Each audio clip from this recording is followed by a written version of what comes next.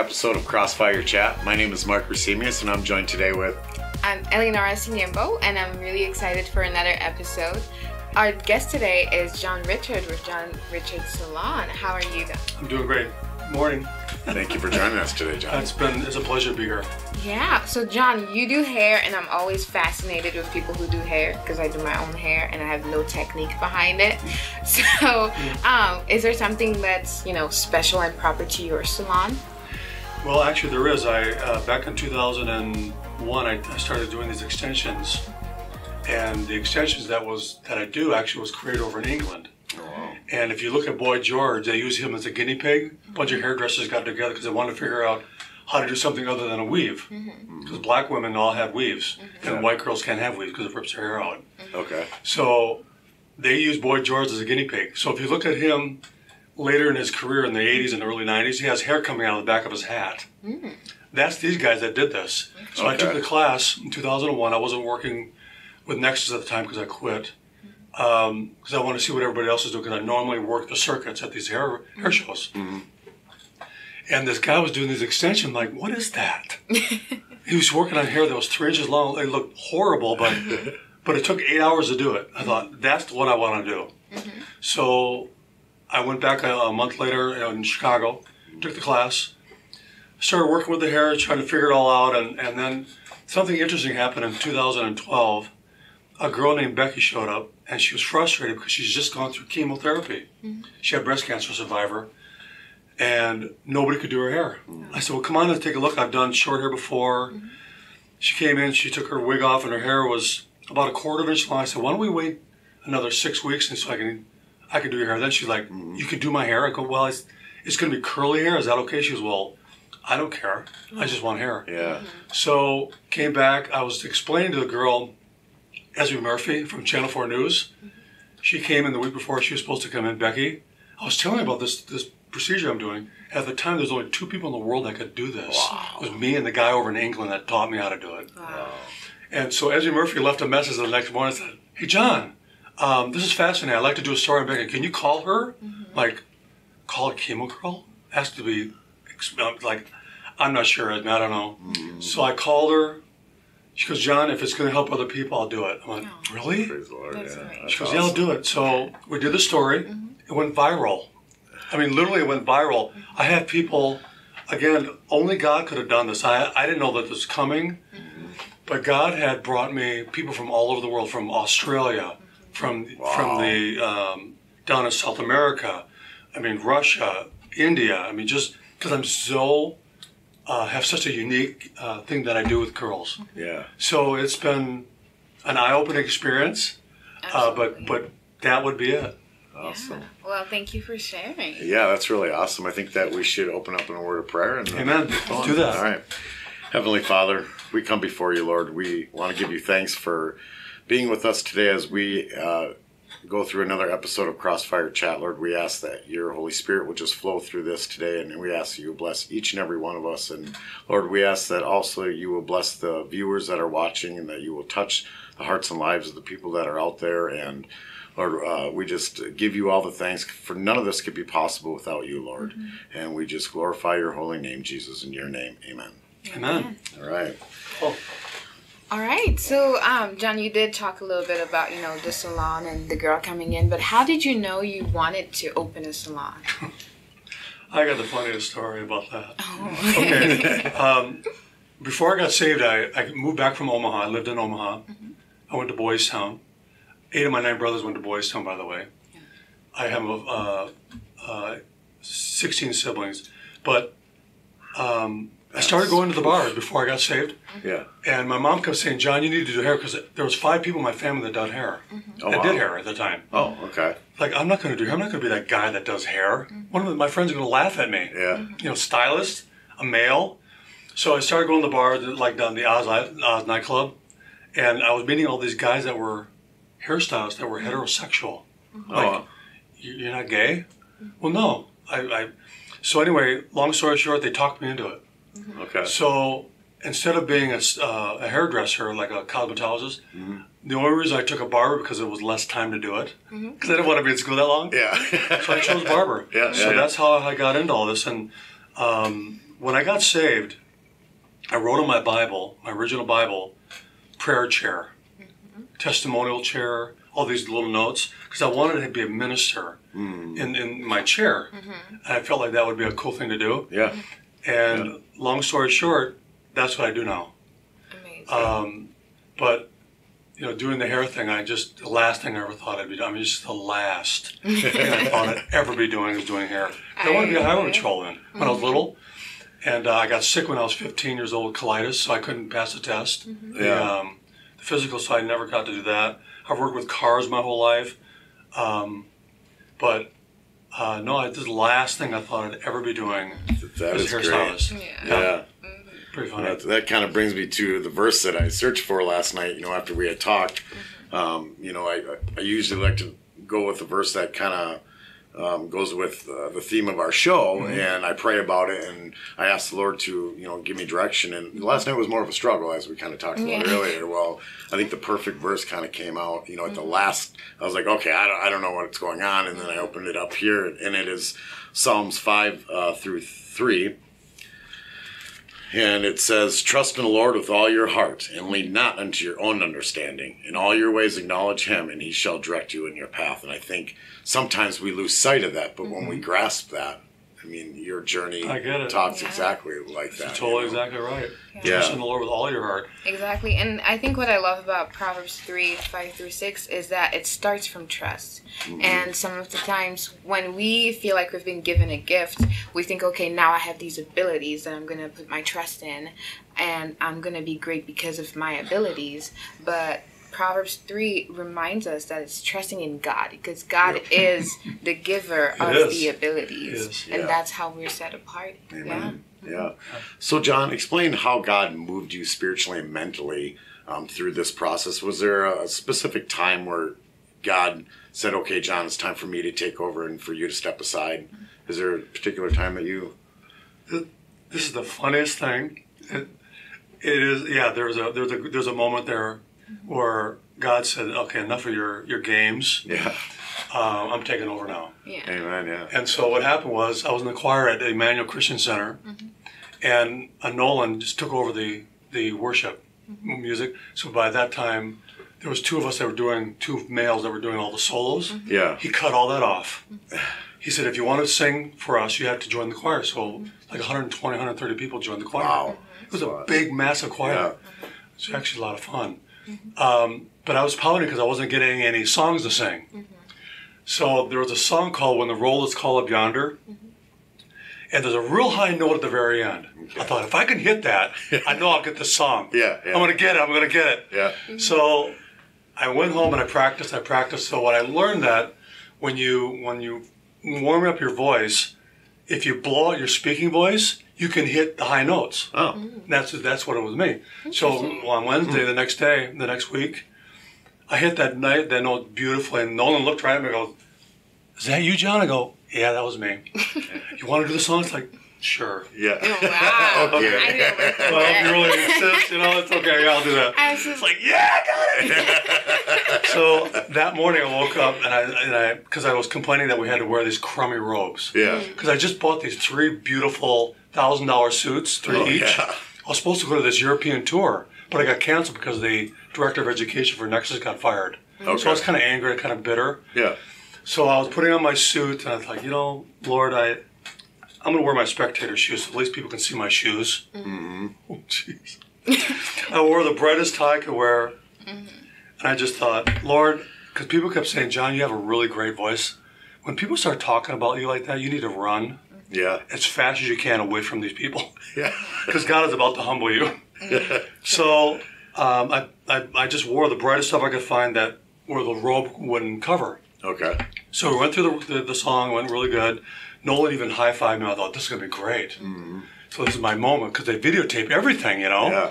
So uh, we did the run through. They started the song, the, the service with the song. And I believe it was Palm Sunday. Okay. And so instead of staying back with the choir, I walked mm-hmm. right to the, to the front of the, of the sanctuary mm-hmm. where the pastor usually speaks. Okay. Yep. And I went, oh, I'm too far. I shouldn't. I turned around like, my wife was like, what are you doing? And I couldn't move. Oh. Was- I don't know if it was stage fright Yeah. or like God planted my feet down. I couldn't move. Mm-hmm. So the music started. The, everything's great. The it's clapping, waving the the palm branches. The second verse came. I hit the third verse by accident, and it took all my air out of my diaphragm. I was fumbling over the words. I wasn't hitting any notes. Oh yeah. I was having this out of body experience. Like this cannot be happening to me. Mm-hmm. This is my moment. And I then I thought, well, I didn't know what planet I was on, so I just sang the third verse again. I kind of looked over at my wife, mm-hmm. and she's like, "What are you doing?" like, help!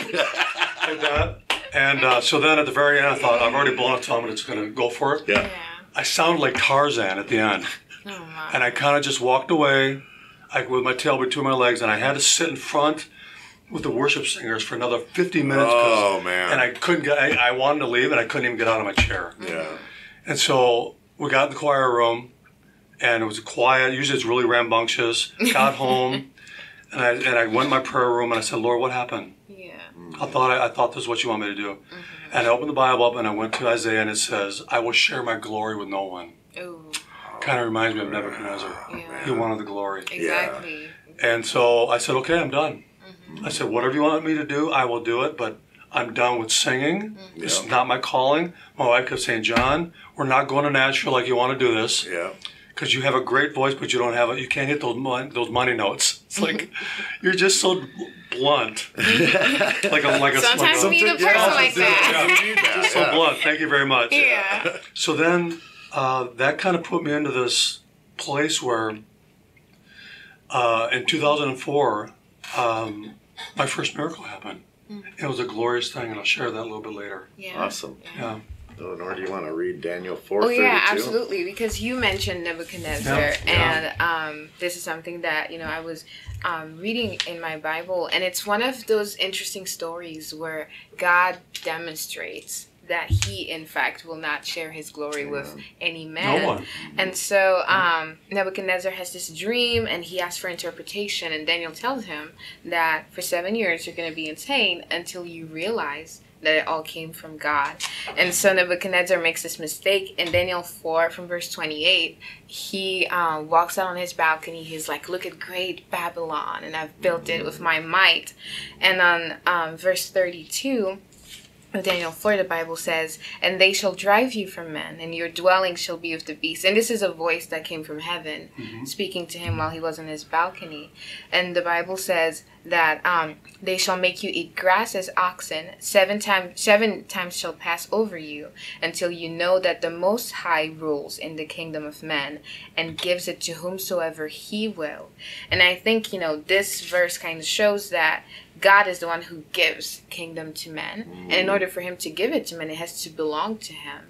And Nebuchadnezzar failed to realize that God was the owner of whatever he thought he had built. And I love how that tied into your story of, you know, you wore the brightest shoes you could because Yeah. you're like, this is Man, my I want to look great for that. And Yeah, God- look at me, how yeah, beautiful I am, you know. Yeah. And God was like, actually, it's my moment. Yeah. So, uh, I, I'll show you. exactly. And I love that God has those gentle moments where Yeah. He brings us back, and it's not to bring shame on us, but it's like a Yeah. gentle nudge of, "Hey, Yeah. look." Well, it's kind of like it's the. Mm-hmm. verse that you read right after when you were in your prayer room. You Yeah. know, you opened up Exactly. the book. That was the gentle moment. that- Yeah, I was sharing my glory with no one. Yeah. And he means it. He Yeah. means that. Absolutely. Thank you, Eleanor. Thank you for your Bible. Yeah, Yeah. sharing that. Um, so, what uh, t- what miracle, I guess, that God has done in your life and in your career that kind of sticks out with you the most as you've gone through your journey? Boy, you know, there's so many, Mark. yeah. I, I had to really think about this, but I think probably the one that I'd like to talk about is the first one Okay. that happened in my salon. Her name is Pat. Um, it was right after all that happened with the, you know, the sound like Tarzan. Yeah. And when and I was in Vegas uh, doing a runway show um, in the in that summer, and uh, I was we did the run through at ten thirty in the morning. Well, the show didn't start until ten thirty at night. It's like, why are we here so early? wow, that's True. Yeah. Yeah. Right on- Twelve hours. I know Club Seven on the Strip, and so Okay. I went back to my room. I took a nap, and I said, I woke up four hours later. I said, Lord, I woke up laughing. You ever wake up laughing? It is the most strange sensation. I can't It say is that I have. interesting. yeah. So it's like, Lord, what was I? What was I dreaming? So I said, uh, "You want to play some Bible bingo?" So I took the Gideon's Bible because I, did, I, I gave my Bible away that morning for breakfast, Okay. and I, I said, "Lord," I sat up. I said, "Well, I'll do whatever you want me to do. Um, I'm just going to open the Bible. I'm going to close my eyes and put my finger down, and I'll do it." And I'm laughing. Don't ever do that. Don't ever do that because God will hold you to it. He So will. I did that, and, I, and I, I closed my eyes. I, I opened the Bible, and I went like this. I looked down and went, "You got to be kidding me!" Because people could tell me, you know, Jon, you should write a story about your life, write a book about your life. I'm like, I'm not doing anything until God Himself tells me to do it. Yeah. Well, it says in the book of Jeremiah, chapter 30, verse 2, Thus saith the Lord, write down all the things I've shown you in a book. I Wow. I went, You got to be kidding me. I didn't know that was in the Bible. Yeah. That's amazing. So I shut it. I'm like, wait a minute, where was that again? well, uh, the heading of, the, of that chapter is restoration. Beautiful. And that's where this started, my book. Yeah. Okay. And so, uh, so what happened was, the first miracle that happened in my salon was in 2004. Her name is Pat. She came to me in, 2000, in 1999. She was "Now that I found you, because she has curly hair, um, because I just styled her hair really nice, she didn't have to go home and blow, redo it. You want to do some bartering? I go, what do you got? She goes, braces. I went, you're an orthodontist? Because my both my kids needed braces. Like, mm-hmm. Oh wow. yeah, let's do that. So we borrowed four sets of braces. My daughter needed two sets because they had to take some teeth out and redo things. And mm-hmm. my son, and then my, my wife had surgery on her, on her jaw, and then they restructured some things and mm-hmm. because of TMJ. And so we bartered four sets of braces. So right in the middle of this, she didn't show up for her appointment. I'm panicking, like, Oh no. is she mad at me? Yeah. Did she, did she cancel everything? So I called. I said, Pat, this is Jon Richards. Uh, you missed your appointment because she loved getting her hair done every 4 mm-hmm. weeks. Call me. Mm-hmm. And she called me two weeks later. She goes, Jon, I'm so sorry. I missed your appointment. I apologize. I had an aneurysm, but it didn't kill me. Oh. I have to lay in bed for two months, mm-hmm. lay still, like don't move my neck, because if I move my neck, I'll die. oh. I went, okay. I said, well, can I come over to your house? I'll do your kid's hair and your husband's hair. Oh, that's fine. We'll do that. So I went over to see her. She's laying in bed.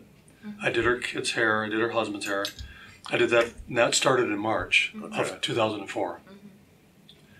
Well, two days before Christmas, she walks in and her, she's well, her husband.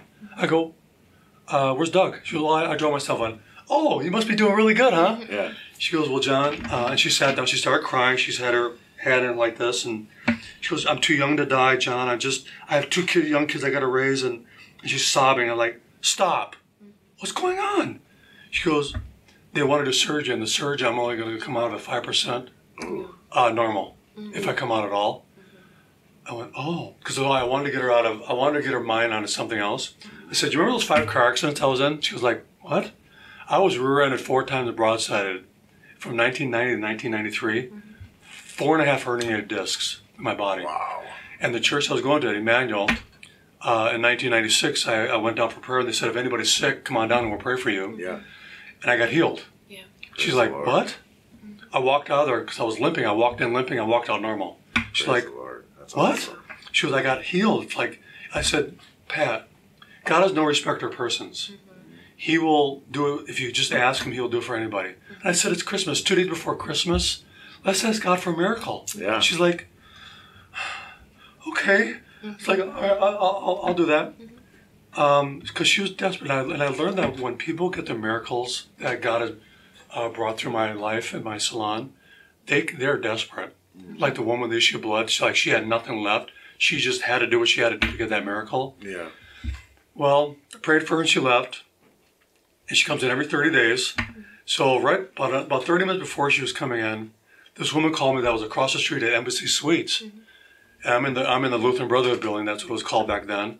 She goes, I'm across the street at the Embassy. Can you get me in for a color today? I go, you got to come right now. Yeah. She goes, just walk over the skyway. She goes, yeah, I'll do that. Mm-hmm. Because I have a girl coming in at, at 12. So she goes, okay. So she came in. I did her hair, put the hair color on really quickly because I didn't have much time. And so Pat walks in. So I go and greet her, give her a hug. It's like literally hugging a board because she's so mm-hmm. stiff. Yeah. And, and so, I and she goes and she's smiling. I go, Pat, you look like you swallowed a canary. What's up? She goes, Jon, you should really think about changing careers. Like, now why would I want to do that? Mm. She goes, it's gone. I go, what's gone? Because I forgot. Yeah. She goes, the the aneurysm, it's gone. So I go, like, I'm just staring Lord. like, that is so cool. what? Yeah. So the girl sitting in my chair, mm. she turns around. She goes, excuse me, guys, what aneurysm? Like kind of like angry. Yeah. So she walks in and she goes, um, I had an aneurysm and I had this medication. She goes, I know the medication. Mm-hmm. She's a surgeon, a brain surgeon sitting in my chair. oh wow. I'm like, what are the chances of that happening? Yeah. So she's explaining all this to the brain surgeon. She goes, the medication worked right? She goes, no, the medication wasn't working. Mm. And Jon prayed for me and God, and it's gone. Mm-hmm. She just couldn't believe this. So I, I'm just chuckling as I'm, I'm mixing Pat Keller. I'm my God, you're so funny. This is so cool. Mm-hmm. Because I think a lot of times surgeons and doctors think that it's their power. Mm. It's not their power. Yeah. God gives us all the technology, Amen. but in the end, for whatever reason, God wanted her to see that she was completely healed without the power of the medicine. That was a really great moment. That was the first miracle in my salon. That is- I thought this is gonna be a great story for my book. Yeah, that's God just really told me to write a book. Exactly. And you that have was my- many miracles. Exactly. in the book. Zero to fifty-five. Yeah. Yeah, there's a lot of miracles in there. So Yeah. It's So really I would encourage a lot of people to, you know, go ahead and get the book and read it. Exactly. And I think it's such a great story of hope because God is using you exactly in the field where He placed you. Yeah. Um, It wasn't. If it wasn't for that moment of being on stage, I don't know where I would be. I'd be. Mm-hmm. I told Lynette, my wife, and we're gonna get a bus. We're going to Nashville. Yeah. And I was really serious. Mm-hmm. She's like, I'm gonna leave you over, hand you over to God because I'm I. You, I can't talk to you anymore. So God literally had to deal with me harshly. Yeah. Mm-hmm. Um, and he'll do that too. He'll do that. will, yeah. I mean, with anybody, it doesn't matter. Yeah. He'll take you out if he needs to. Yeah. So he, he brought me back to this place. So without that moment, I wouldn't be here. Amen. So God did that. That's Yeah, it's pretty cool. it's amazing. Yeah. And I love how your story happens in the salon. God uses you in the salon. Yeah, with that's the right. people that come to get their hair It's the done. salon. The sal- And they walk out with Jesus. You know what happened one time? A girl was coming in from Indiana. Uh, this was five years ago, and it was Good Friday. Mm-hmm. And I always pray for the girl before they come. It's like, Lord, just bless this woman, anoint the place, and just bring your glory and and do and perform miracles. Mm-hmm. My salon filled up with this fragrance. Mm-hmm. And I thought, it smells like cinnamon. It was Good Friday. So I looked up cinnamon. Well, cinnamon, they used to wash the Holy of Holies down, the walls down to make it holy. Mm-hmm. Oh, okay. Well, then a week later, the girl reminded me that gave me this whole this anointing oil, mm-hmm. that it was actually uh, Good Friday was last week. I'm like, because I didn't know it was Good Friday. Mm-hmm. Yeah. She reminds me. She goes, "Well, this is some oil," and I, and I opened it up, and it smelled like that: frankincense and myrrh and, and cinnamon. It was anointing oil. God was telling me that this place is anointed. My whole salon filled with this, this fragrance of frankincense and myrtle and Yeah. cinnamon. So it's like it's anointed. Mm-hmm. God, Praise the- praise my place is anointed. Exactly. Where- Anywhere Yeah. where God goes mm-hmm. or where Yeah. we go, mm-hmm. it's anointed. Yeah. And Any room Amen. you walk into, Yeah. we're bringing the glory with us. Amen. And yeah. God will mark His presence. Yeah. Absolutely. And it's in the marketplace. Exactly. Yeah. Doing this in the marketplace is really cool. Yeah, As a that's, that's owner, pretty neat. Yeah. It's a really cool thing. It's like, Yeah. wow, Lord. I, Exactly. you know, even when I got saved, I wrote down in my, my old Bible, prayer chair, um, testimonial chair, and God honored that. That's He put that in me right when I got saved. I'm Yeah. at Shepherd's Inn at Jesus People Church. Exactly. That's beautiful. Yeah. Pretty cool. I Yeah. love that. Yeah, and I think this is a great message for people watching who think God can't use them because they're called in something that they don't think aligns with ministry. Yeah. God will use you where He's placed you, He will. and I think you I'm know people should that. exactly. I'm a hairdresser. Yeah. Yeah. And I mean, people should not limit yeah. themselves to, well, I wasn't called to be a pastor. Yeah. God could use you as a vet. God could use you as a nurse. God could use you out there in the Any market. field, God could yeah. work could Yeah. use you in an aisle in the supermarket. And so I think Mm-hmm. It shouldn't we should not limit what God can do No. based Yeah. on what Never we do that. expect. Ever, to- never, never. Exactly. You know, my wife kept pounding on me. It's like, Jon, I know you want to be a minister, but you're a minister where you're at. Exactly. Exactly. And I finally Yeah. clicked, light bulb went on. It's mm-hmm. like, you're right.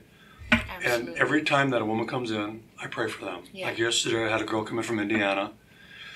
Her life was a mess. Her her husband walked away from the four girls. Mm-hmm. They never gave him a, never gave her a dime.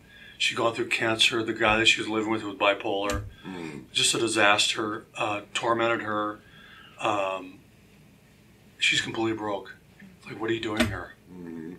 You're spending all this money on your hair. She's. I had a, I had a fundraiser. I thought this is the last thing that I, would make me feel better. Yeah. I had a woman one time sell her clothes to get her hair done. She sold her clothes.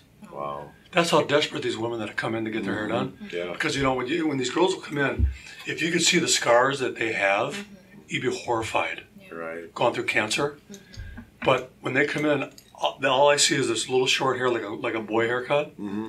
and I get to give them their last piece of the puzzle. And and it's restoration for them. That's Yeah. It's a awesome. restoration. That's It's like. God, my whole life is about restoration. You did this, and you put this in me, and you Yeah. you brought this to me, and I'm just so honored. that, You know, we, we Yeah. prayed together at the end, at the end of it. We cried together, and mm-hmm. we hugged, and I blessed her, and that's what we do every time a chemo girl comes in. It's just, it's you know, the words are,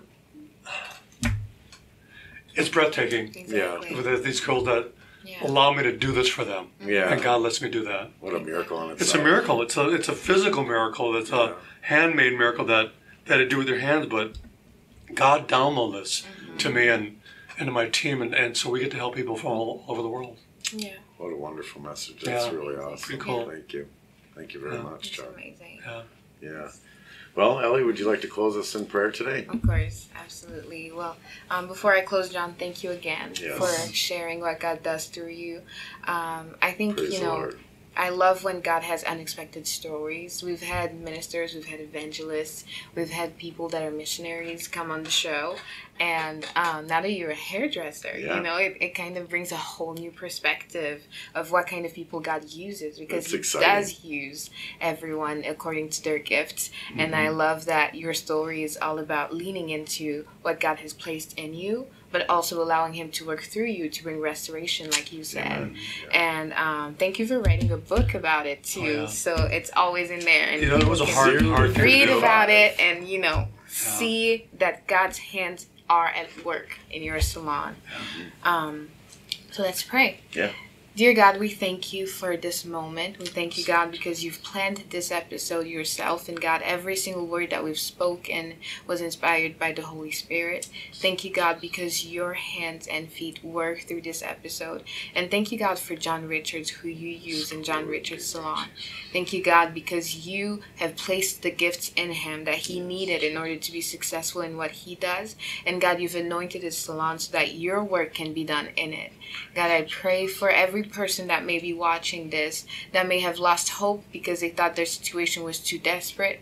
I pray that God, you show them that just as the girls that come in for chemo girls come out with hope and restoration, that God, there is still hope for restoration in their lives. Yes, God, I pray for any person that may be doubting the fact that you've called them to um, minister to others. God, I pray that any doubts that may come from the field that they're called into or anything that they might think stops them from being used by you, I pray that God, you show them that just as you use Jon Richards in a salon, you can use them in whatever you've called them to do. I pray that God, you honor your own name in their lives because God, you're the one who gives every great gift and ability. I pray that God, you help them so that they can use what you've given them to show you through it, what everything they do. And I pray that God, you help them go out into the world carrying your mark on them Lord so that whatever they do, whatever they produce with their gifts and abilities, shows that you are a great God, that you are love, and that you are ready to show into the word, into the world that we live in. We pray that God, um, for any person watching this, that your that this message hits the right spot in their hearts. That God, you work through everything that we've done here, and that you bring it to fruition in Jesus' name. Amen. Amen. Thank you, Jon, for joining us today. That's a Pleasure. Thank you again. And thank you to all of you who are watching. We are so thankful for another episode and we can't wait to make another one.